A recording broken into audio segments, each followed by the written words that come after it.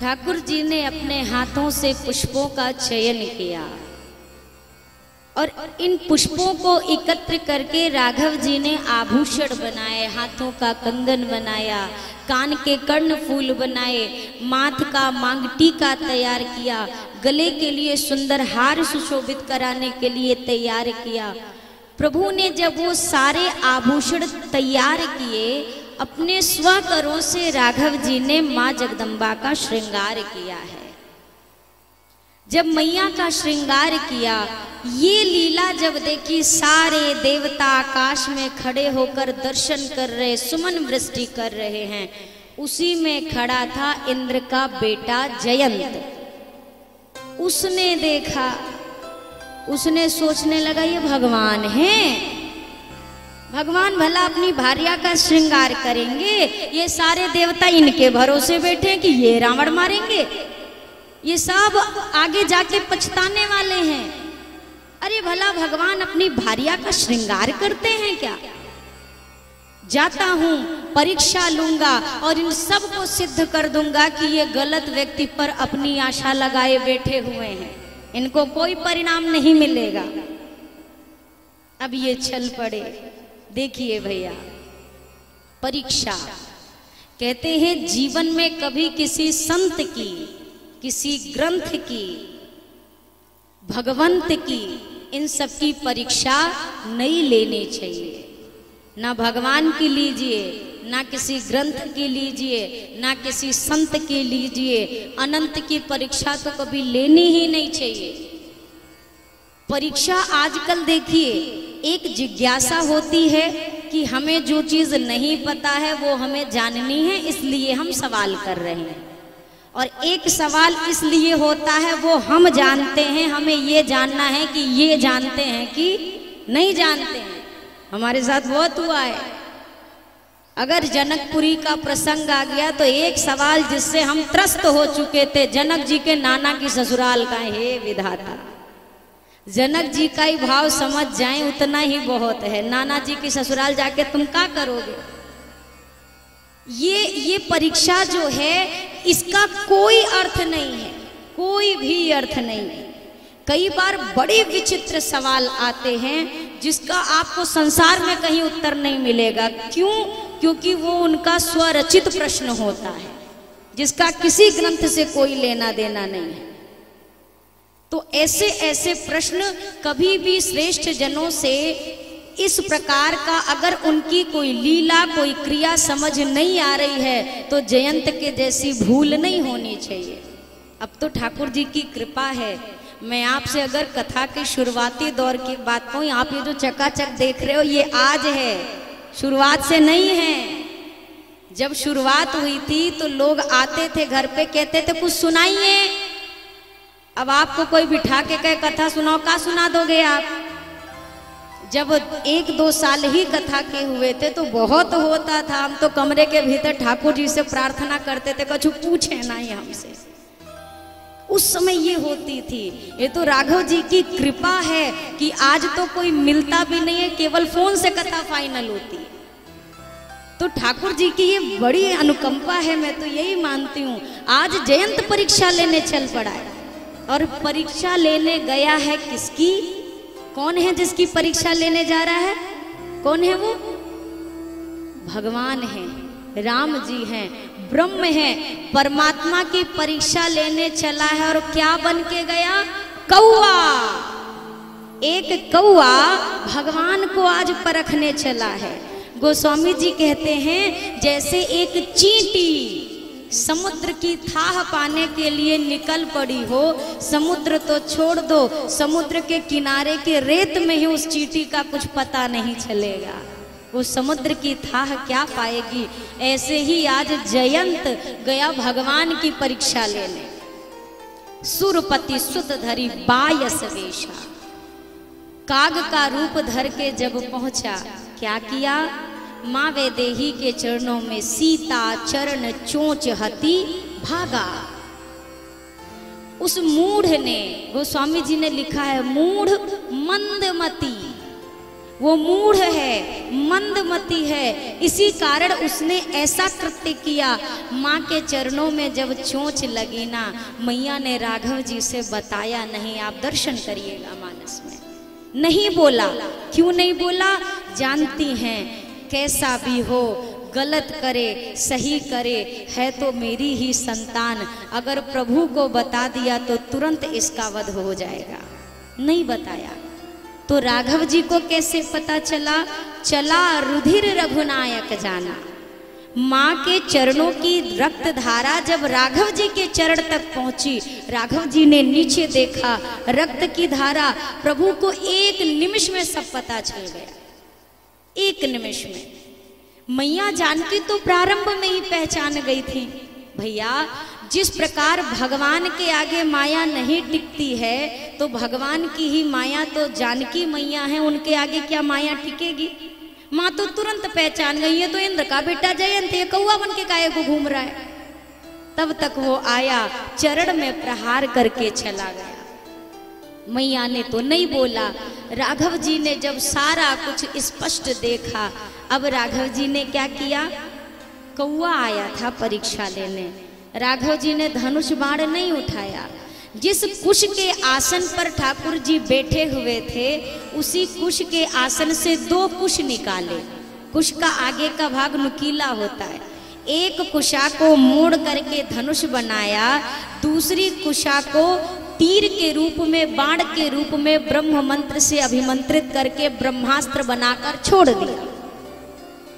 किसी ने राघव जी से पूछा कि प्रभु, आपने अपना धनुष बाण क्यों नहीं उठाया? राघव जी ने कहा कि अब कौए को मारने के लिए भी अगर धनुष बाण उठाना पड़े तो क्या फ़ायदा? काग परीक्षा लेने आया, जैसे कुत्ते सा। राघव जी ने कहा कि एक कुश से ही इसका सारा समाधान हो जाएगा। अब ये भागा। मही जा तब चौक पड़ी छन में। कवि भैरव चोच गड़ा चरणों में। सब लोक सशोक जयंत फिरा। न मिला अवलंब गिरा चरणों नाथ क्षमा इसको करिए। इसका सिर पुष्प चढ़ा चरणों में। मेरी माँ अपना दुख भूल गई। शरणागत काग पड़ा चरणों में। भागा जयंत। ब्रह्मास्त्र पीछे लगा जयंत भागा। और जब बच्चा कोई गलती कर दे तो सबसे पहले उसे अपने बाबूजी का घर याद आता है। सबसे सुरक्षित जगह, लाख में गलती करूँ, पिताजी बचा लेंगे। जयंत भी भागा, इंद्रलोक पहुँचा। जैसे ही पहुँचा, बाबूजी, बचाइए, पिताश्री, रक्षा करिए। क्या हो गया? घबराए क्यों हो? अरे, भगवान की परीक्षा लेनी थी। माँ जानकी के पैर में चोंच से प्रहार किया कौआ बन के इंद्रदेव ने कहा, दरवाज़ा बंद करो। ये थोड़ा सा निश्चिंत हुआ, बाबूजी, बचा लेंगे, दरवाज़ा बंद करा रहे हैं इंद्रलोक का। ये जैसे ही बैठने को हुआ, इंद्रदेव ने कहा, पहले तू बाहर निकल, तब दरवाज़ा बंद करना है। काहू बैठन कहा, न ओही, राखी को सकई राम कर द्रोही। भागा। अब कहा पहुँचा? ब्रह्मलोक पहुँचा। पितामह, त्राहि माम, मेरी रक्षा करो, पितामह, रक्षा करो। ब्रह्मदेव ने कहा, क्या करके आए हो? बोला, पिताजी ने भगा दिया। क्यों भगा दिया? मैंने माँ के चरणों में चोंच से प्रहार किया। मेरी रक्षा कर लो, पितामह। ब्रह्मा जी ने कहा, जब तुम्हारे बाबूजी अपने नहीं हुए तो हम तुम्हें कैसे बचा ले? निकलो यहाँ से। ब्रह्मलोक में भी ठौर नहीं मिली। अब भागा कैलाश पर्वत। हे शिव शंभो, आप तो भोले बाबा कहते, कहे जाते हो ना। आप तो अवधर दानी हो, मेरी रक्षा करो। बाबा पहले ही त्रिशूल लेके तैयार थे, आए तुरंत मैं मारूँगा। अब ये समझ गया कि मुझे तीनों लोक में कहीं ठिकाना मिलने वाला नहीं है। भागता फिर रहा है। अचानक नारद जी मिल गए। नारद देखा, ये विकल जयंता। तब लागी दया, कोमल चित संता। नारद जी ने देखा, ये इंद्र का बेटा ऐसे भागा भागा क्यों फिर रहा है? क्या हो गया है? नारद जी ने कहा, पास जाकर, अरे जयंत, रुको रुको रुको। नारद जी अच्छा क्यों मिले? संत कब मिलते हैं? बताइए, संत कैसे मिलते हैं? बोलिए, संत हमें कैसे मिलते हैं? कब मिलेंगे? मनई में ना बोलो, ज़ोर से बोलो मैं सुनाई दे। कैसे मिलते हैं? जब जब क्या होगा? प्रभु की कृपा। क्योंकि आगे लिखा है ना सुंदर कांड में बिनु हरि कृपा मिलई नहीं। अब मोहे भा भरोस हनुमंता। लिखा गया है कि ठाकुर जी की कृपा के बिना संत मिलने वाले नहीं हैं। एक बात, लेकिन इसी श्री रामचरित मानस में एक जगह गोस्वामी जी ने लिखा है, पुण्य पुंज बिन मिल ही ना संता। बिना पुण्य के एकत्र हुए संत मिलने वाले नहीं। अब आप बताओ, कौन सी बात सही? ये वाली सही कि वो वाली सही? पुण्य के प्रताप से संत मिलते हैं कि भगवान की कृपा से मिलते हैं, दोनों बात सही है। और दोनों में फ़र्क क्या है? पुण्य पुंज बिन मिले ही न संता का तात्पर्य, समझिएगा। जब हमारे आपके पुण्य उदित होते हैं तो संत कैसे मिलते हैं? तब आप संत के द्वार तक जाते हो। आपका वो उदित हुआ पुण्य आपको घर से निकालकर एक संत के द्वार पर ले जाता है। इसका नाम है पुण्य पुंज बिन मिल ना संता। अर्थात आप जब चल के जाओ संत के द्वार पर, आपके ग्राम में क्षेत्र में काप इतने ही लोग हो, मड़िया रास में, और भी है ना? मैंने प्रारंभ में कहा, दूर दूर के आ गए, पास पास के भी बच गए। कारण, क्योंकि शायद अभी राघव जी की वो कृपा उन्हें ना मिली जो हमें मिल रही है। तो पुण्य के प्रभाव से हम संतों के पास जाते हैं, और बिनु हरि कृपा मिल ही नहीं संता, ये वो तात्पर्य है, जब आप अपने द्वार पे बैठे रहो और कोई संत आपके द्वार पर खुद चलकर आए, ये है भगवान की कृपा से संत का मिलना। जब आप संत तक जाओ तो पुण्य, जब संत आप तक आए तो हरि कृपा। आज जयंत पर भी साक्षात प्रभु की कृपा ही तो हुई। नारद जी खुद चल के आए। पूछा, क्या हो गया है? क्यों मारे मारे फिरते हो? जयंत ने कहा, मत पूछिए। आज मैं एक बात समझ गया। विपत्ति आने पर ना देवर्षि अपने सगे भी अपने नहीं रहते हैं। आज मुझ पर विपत्ति आई, मेरे पिता ने मुझे धक्के मारकर स्वर्ग से बाहर करा दिया। मैंने कल आपसे एक चर्चा की थी।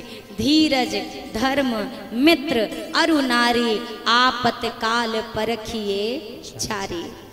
आपको ये कहने वाले हज़ार मिलेंगे, भैया, कोई मुसीबत आए तो एक मिस कॉल मार देना। वो मिस कॉल में ही समझ जाते हैं कि आप प्रॉब्लम में तो ऐसे तो बहुत मिलेंगे, पर मुसीबत में जो साथ खड़ा रहे, किसी ने कहा, जो सुख में साथ दे, वो रिश्ते होते हैं, पर जो दुख में साथ दे, वो फरिश्ते होते हैं। ये बिल्कुल सत्य बात है। आपकी विपत्ति तय करती है कि आपका अपना कौन है। आपको हृदय से कौन अपना मानता है? नारद जी से कहता है जयंताज मैंने देख लिया। कोई संसार में अपना नहीं है। नारद जी ने कहा, पर हुआ क्या है? पिताजी ने क्यों निकाल दिया? अरे महाराज, पिताजी ने ही नहीं, आपके भी पिताजी ने निकाल दिया, हमारे तो छोड़ दो। आपके भी पिताजी ने नहीं पूछा, ब्रह्मदेव ने भी निकाल दिया। और वो तो छोड़ दो, देवों के देव, महादेव ने भी बाहर निकाल दिया। नारद जी ने कहा, ऐसा क्या किया है कि सारा जगत तुम्हारा बैरी बन गया? जयंत कहता है, एक भूल हो गई। भगवान को जब माँ का श्रृंगार करते देखा, मेरे मन में यह मोह उठ गया, ये भगवान नहीं है। उनकी परीक्षा लेने के लिए मैंने काग का वेश धरा और जाकर जानकी मैया के चरणों में चोंच से प्रहार कर आया।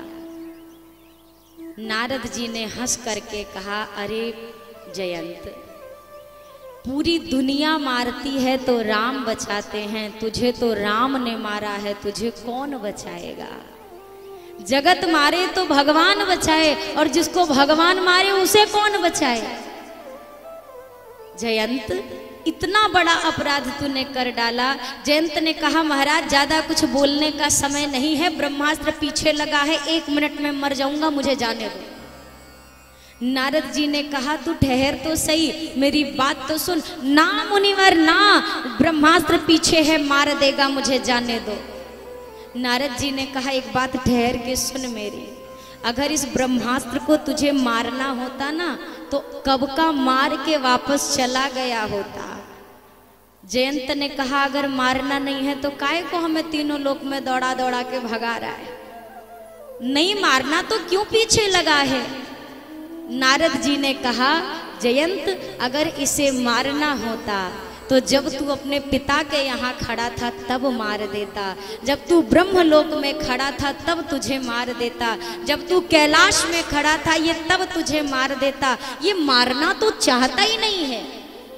जयंत ने कहा तो क्यों पीछे लगा है? नारद जी ने कहा, ये तुझे बताना चाहता है। जयंत, गलत जगह पे पूरे ज़िंदगी भर भागते रहोगे, ठिकाना नहीं मिलेगा। जिसका अपराध किया है, उसकी शरण में पहुँच जाओ, तेरी रक्षा हो जाएगी। ये तुझे सही जगह पहुंचाना चाहता है, इसलिए तेरे पीछे लगा हुआ है। जयंत ने कहा अच्छा प्रभु क्रोध तो नहीं करेंगे, प्रभु मेरा वध तो नहीं कर देंगे। यहाँ पर कहा, नारद जी ने, वध करना होता तो इसे भी छोड़ने की ज़रूरत नहीं थी। एक निगाह की अगर भ्रिकुटी का एक बाल हिला देते राघव जी तो तू नष्ट हो जाता। इसको भी छोड़ने की आवश्यकता नहीं थी। अच्छा जाऊँ, मुझे क्षमा कर देंगे। नारद जी ने कहा शत प्रतिशत क्षमा कर देंगे। क्या है इसका प्रमाण? क्या प्रमाण है क्षमा करेंगे? नारद जी ने कहा, मैं प्रमाण नहीं दूँगा। तू परीक्षा लेने आया था ना? अभी तक उनके बल का परीक्षा लेने के लिए चला था। उनके प्रभाव की परीक्षा लेने आया था। अब मैं तुझसे कहता हूँ, जाकर राघव जी के स्वभाव की परीक्षा कर ले। तू खुद जा, मैं नहीं प्रमाण दूँगा। चल पड़ा जयंत। गया, चरणों में जाकर के गिरा। और ज्यो ही चरणों में गिरा मैया तो तुरंत ही कहती हैं, जो मैंने आपके समक्ष छंद में भाव रखा। राघव जी ने पूछा, जयंत, क्यों किया तुमने ऐसा? क्यों वैदेही को कष्ट दिया? जयंत ने कहा, प्रभु, गलती हो गई। मैं ना आपके बल के प्रभाव का दर्शन करना चाहता था, आपका प्रभाव देखना था, इसीलिए ये मूढ़ता कर बैठा। राघव जी ने कहा, प्रभाव तो देख चुके हो, अब क्यों आए हो? काग ने राघव जी के चरणों में अपना मस्तक रख दिया और बोला, नाथ, आज किसी संत ने मुझसे कहा है कि जाकर आपके प्रभाव के साथ आपके स्वभाव का दर्शन कर लो। प्रभाव देखने पहले आया था। राघव जी ने कहा, प्रभाव पता चल गया? बोला हाँ क्या पता चला? अतुलित बल, अतुलित प्रभुताई मैं मति मंद जान नहीं पाई। हे राघव जी मैं मति मंद मूढ़, मैं जान ना सका। आपके प्रभाव को और परीक्षा ले बैठा। नाथ, प्रभाव देख चुका हूँ। अब आपका स्वभाव देखने आया हूँ। स्वभाव देखने आए हो? हाँ प्रभु, सुना है। आपने बड़े से बड़े अधमियों को, पापियों का उद्धार किया है। अब मेरी बारी आई तो आप कृपा करते हो कि नहीं, बस ये दर्शन करने आया हूँ। ठीक है, करा दर्शन। कैसे किया जयंत ने दर्शन? राघव जी ने एक नयन से विहीन करके उसे जाने दिया, क्षमा करके। महादेव कहते हैं, देवी, यद्यपि उसका वध उचित था क्योंकि उसका अपराध बड़ा था, फिर भी प्रभु ने कृपा करके केवल एक छोटे के कष्ट के साथ उसे मुक्त कर दिया।